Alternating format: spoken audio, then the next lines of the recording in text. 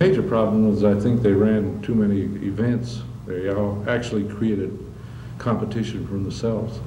Were I to marry again in the future, um, I still would continue to work because I don't feel any longer that the woman has the luxury of staying home. So that without the Variety Club, I think that the nursery would not, would not be what it is today. Hello, I'm Bob Pyle, and welcome to Five Country Close-Up. And this time when the dollar's tight, entertainment items like the theater suffer. We talked to one man who knows that all too well. His name is Jerry Bloomquist, and his task, keeping Des Moines' new Civic Center afloat. There's no business like show business like no business I know. Everything about it is appealing. If anyone in Des Moines can identify with that song, it's this man, Jerry Bloomquist. Bloomquist is currently manager of the Des Moines Civic Center. He took over the helm about two and a half months ago. But I felt I was kind of an ace in the hole, too. How so? Well, if they had a problem here where they always knew they could fall back on me, I felt, I always felt that. Bloomquist's position is a temporary one. He was called in by the Civic Center board as a financial troubleshooter of sorts. You see, the Civic Center is having money problems. When Bloomquist came on board, previous management had overestimated revenue by more than $350,000, which caused them to overshoot their original budget. When I took it over, I think it was roughly 400,000 and we have programmed and estimated at the end of the year it will be 651,000 in the red. Next year we're budgeting 360 to 380,000 in the red. We think we can live with that budget. We got our arms around it. We feel we can handle it, that area. Bloomquist suspects that the center would have been in good shape if they didn't put themselves in a situation where they were competing with themselves. Well, the major problem was I think they ran too many events. They actually created competition for themselves. And when you have so many events that you give the patron a choice, eventually one or two of them suffer. And so you've got to have a just the right amount, but not too much. And uh, we had too much. Bloomquist says he feels he has a handle on the problem now.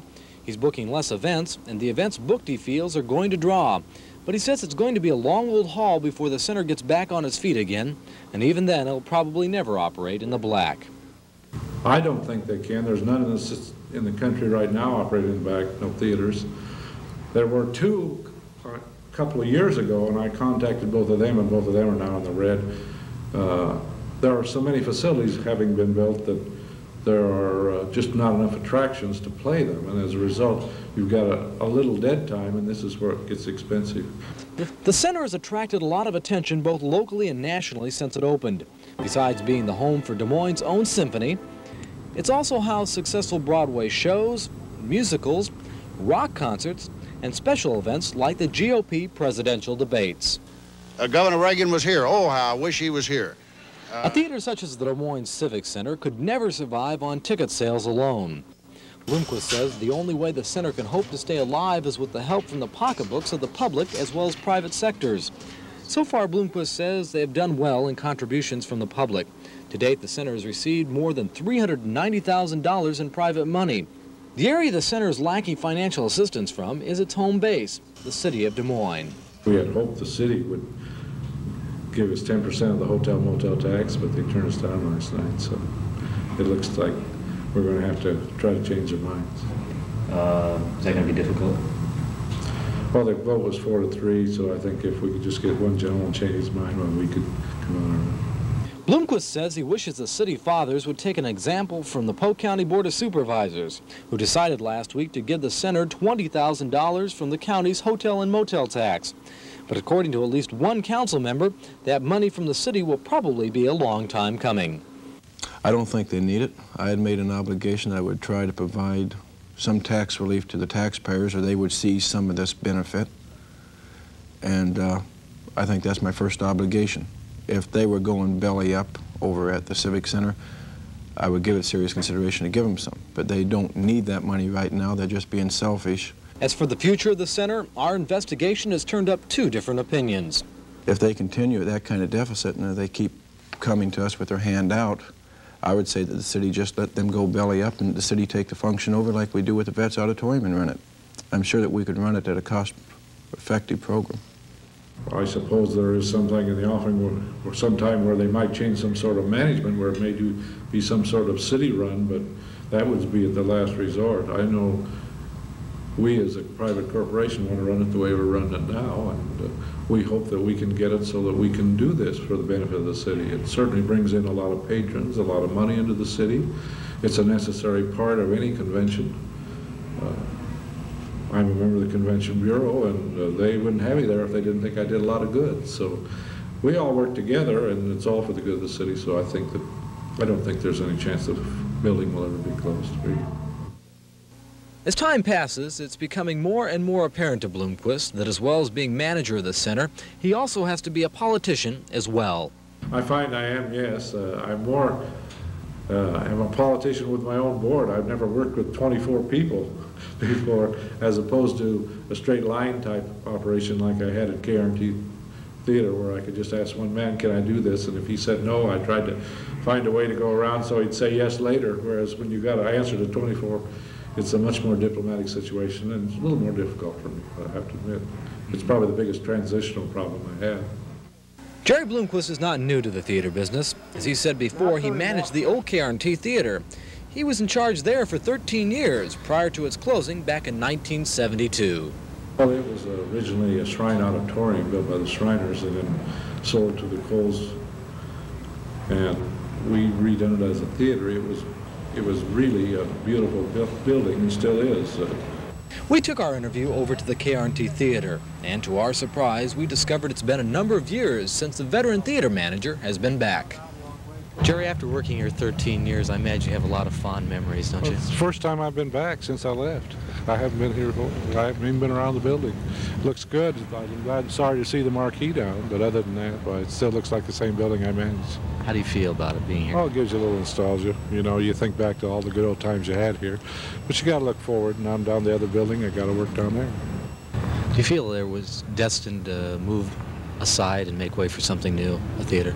Oh, I'm sure that was bound to happen. I just wish that we would have had a transitional period where we would have kept this building still alive while we built the other one. We wouldn't have lost half the audience that we lost. And that's been one of our problems. We haven't gained it all back yet. We're going to do, do the best we can, and we're, we're gaining, but it's still a long haul. We've lost some of it to C.Y. Stephens, some to the vets, some to the golf course, some to the television. But it's all good things, and maybe the changes would have come like that. We've got a smaller theater now, and it should, with a little programming help, why we ought to be able to make it go.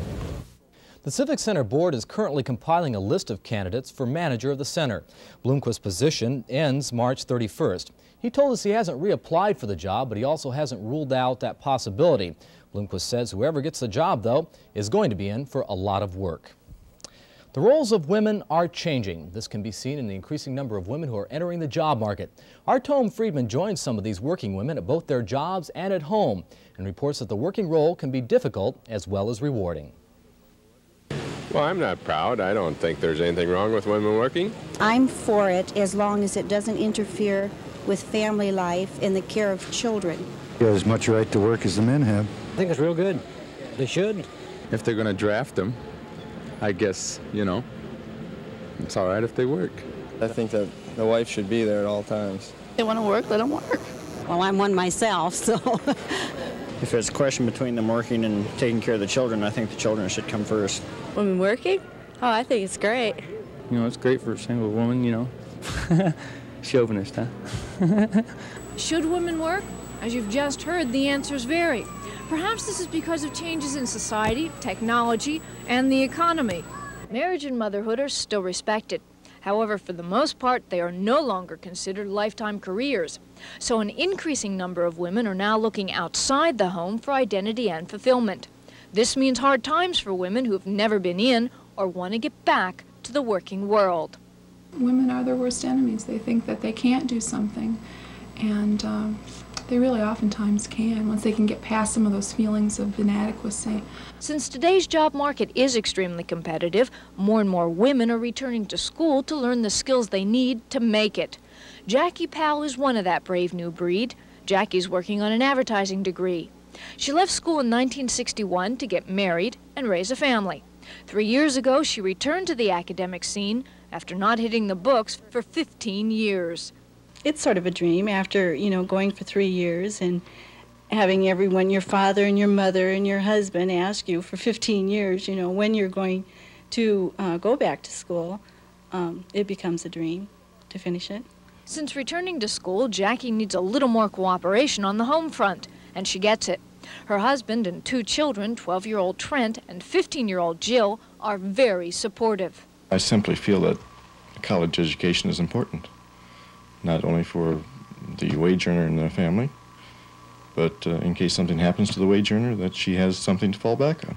I think it's great. Um, she's, for as many years as I can remember, she's always set this goal that she wanted to go back whenever we got into the right town. And now that we finally moved back, you know, she's finally going back. I think it's really great. Jackie's lucky. Her family has a very positive attitude about her scholastic endeavors. And since her family is nearly grown, she does not have child care worries, but she does have other concerns. Worry about grades. I, I think as long as I'm there, I might as well, you know, uh, get a good grade. So I do study a lot. Jackie's degree is close at hand. She hasn't decided yet whether she'll take her new learned skills and put them to work in the job market, but she soon will have that choice. Mary Jo Talkington has made that choice. Mary Jo does not have to work. She chooses to. Getting a job to me is just another stage of my life, another growing process. Mary Jo is a customer relations representative at a local bank. She landed this position after graduating from Iowa State in 1978. However, this isn't Mary Jo's only job. She's also a wife and mother. The main reason that I wanted to go back to work was for me. And that may seem selfish to a lot of people, but it has enhanced not only my life, but the life of my family. Uh, it's made my children more independent. It's helped Alan and I in our relationship. I have something to converse about. I have something to share outside of the home rather than just, you know, how many rooms did you clean today? Uh, did you bake a cake today? Or when I go out, I can't, I don't just talk about my children. I have other things to share, things that happen to me during the day. It makes me feel more of a person. Yeah, I'm behind her. At first, I wasn't. I was the old, uh, what do you say, the old normal way. No, you stay at home, you know, but I could see that that wouldn't work out. And I think if I'd have tried to force it that way, it would have made the marriage worse, really. So I finally saw the light, more or less, and she went back, and I think it was better for both of us. Having a working mom means no one has to sit on 14 year old Brett and 15 year old Tracy to pitch in around the house. Sometimes I vacuum the carpet. I don't exactly love that, but I do that once in a while. I know I have to help her because she's been working and everything, so. No, it doesn't bother me though. The real test of this cooperation comes at dinner, when everyone wants to talk about their day, but their tummies tell them to get the food on the table. I still have a lot of rapport with my children. I hope that never leaves. But right now, I still have a lot of rapport with them, and, and they want to share it, and they want to talk about it. And you've got to. You've got to do it right now. You can't say, hey, let's talk about it later, because later, you know, she has homework to do. I have maybe something I have to do in the kitchen, or, you know, whatever. So you have to pick up on them right now. And so that's why it's so chaotic at our house at supper time. But that really, we, supper time to us is a really a special time. With dinner ready, the Talkingtons sit down to their one meal of the day they share together. Bless us, O Lord, and the gifts that we have before us. Amen. Amen. But not all women are as fortunate as Mary Jo. Sandy Wing works because she has to. Sandy is divorced, so she needs this job to support herself and her son. I don't like to work myself. Um, my own personal feelings are that my place is in the home. Because of Sandy's schedule, the time she and Christopher share together is very limited, therefore special, and sometimes very entertaining. One, two, three.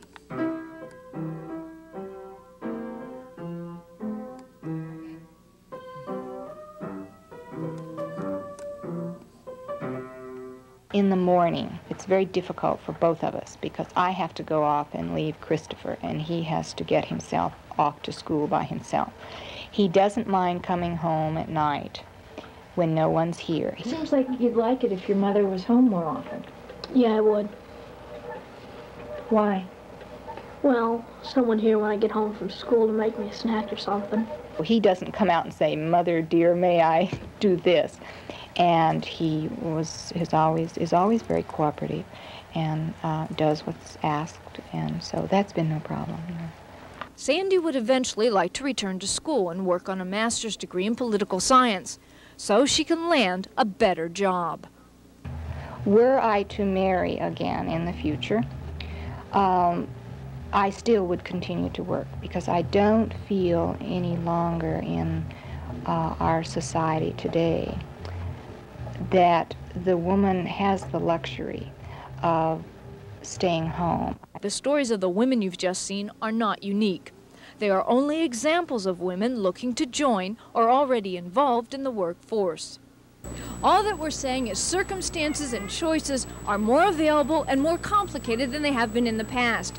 And in meeting these challenges, women are discovering they can use their interests and abilities for a career, not just a job, but for a vocation that offers personal and economic growth, better qualifications for the business of living.